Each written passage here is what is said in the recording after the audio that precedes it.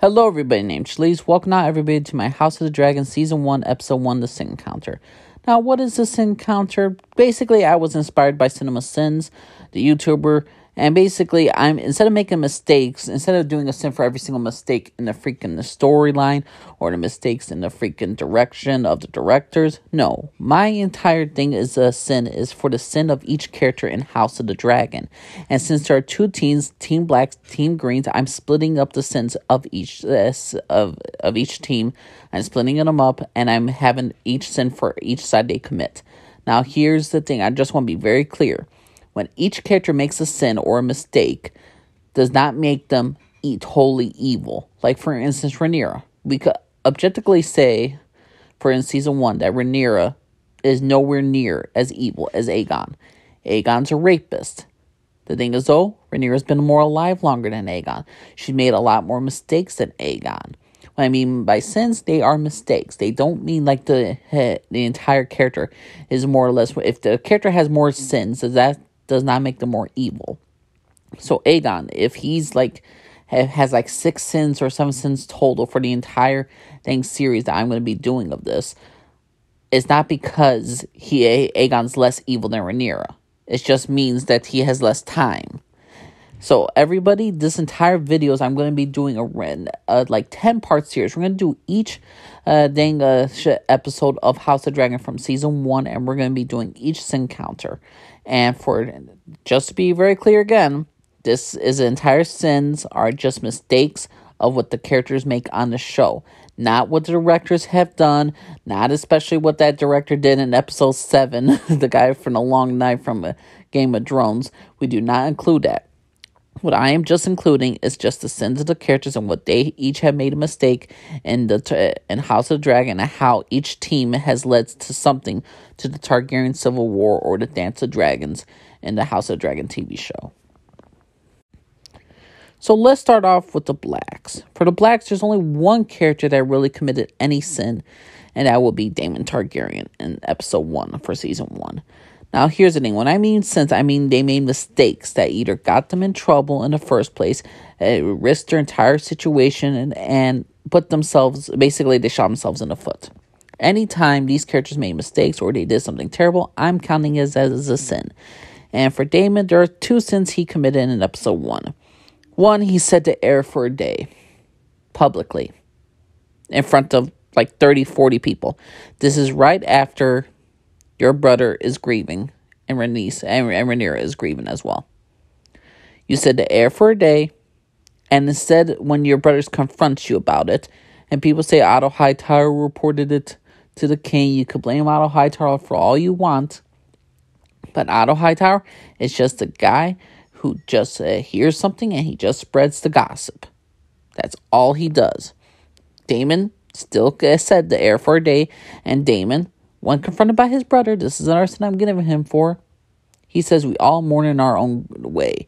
And instead of like apologizing to his brother for actually saying it, or just to be, you know, a little bit regretful for how he acted, he just really goes hard at Viserys as a weak man. And because of that, he's no longer heir. The entire Dance of Dragons starts because Daemon did not not Dance of Dragons, but the entire reason why Daemon is no longer the heir is because of himself.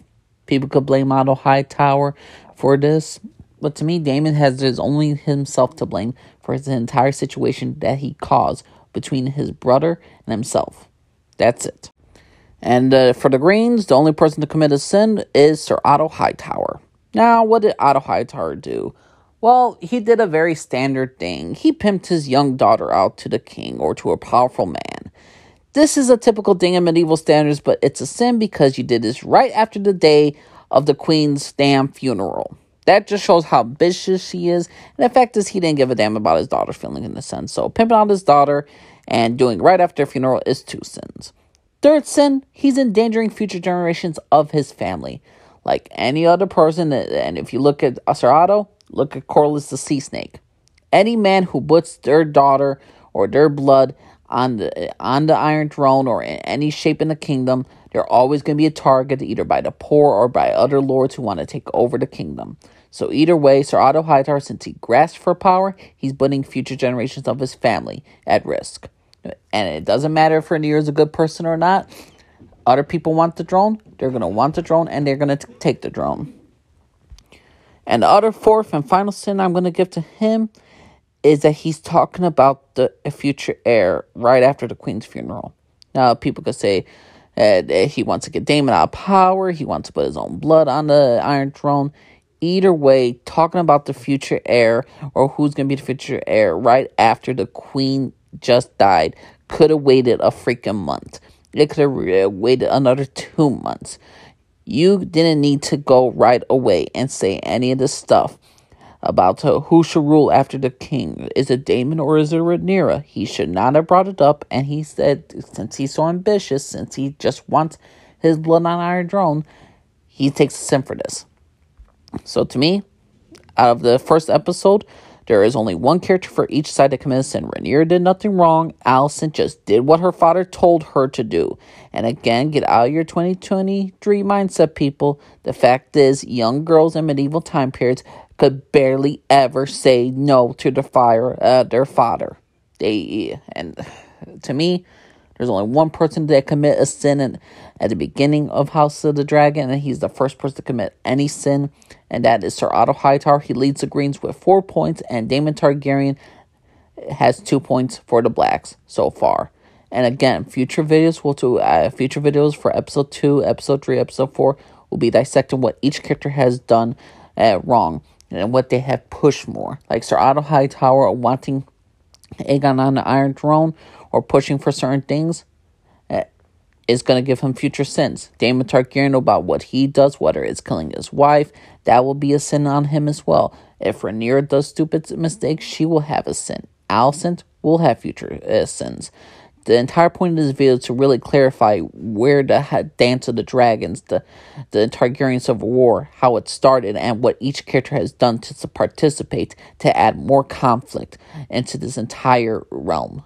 So, in my personal opinion, the episode one, the Greens are taken over. Sir Otto Hightower has four points, and Daemon Targaryen has two points. Please let me know what y'all think, everybody. You think I should give a sin to Alicent? You think I should give a sin to Rhaenyra? You think I should give a sin to Viserys? What's your personal opinion, everybody? Angel Lee Scarford, everybody. Uh, bye.